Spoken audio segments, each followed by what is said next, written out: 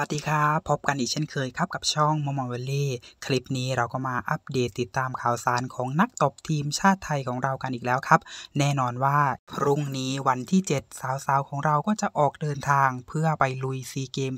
2023 กันแล้วครับ ก็เป็นกำลังใจสองกำลังใจให้สาวไทยของเราทุกคนครับ คลิปนี้จะมาพูดถึงประเด็นที่หลายๆ คนก็ให้ความสนใจครับ แล้วก็ถามกันมาเยอะมากๆว่า เมื่อผู้พรพันธ์กับตันทีมชาติไทยของเราไม่ได้มาเล่นในซีเกม 2023 ในครั้งนี้ ใครจะรับหน้าที่ตำแหน่งกับตันแทนกับตันผู้ล่าสุดทางสื่อดังก็ได้มีการประกาศออกมาครับว่า กัปตันคนใหม่ของทีมชาติไทยของเราในชุดซีเกม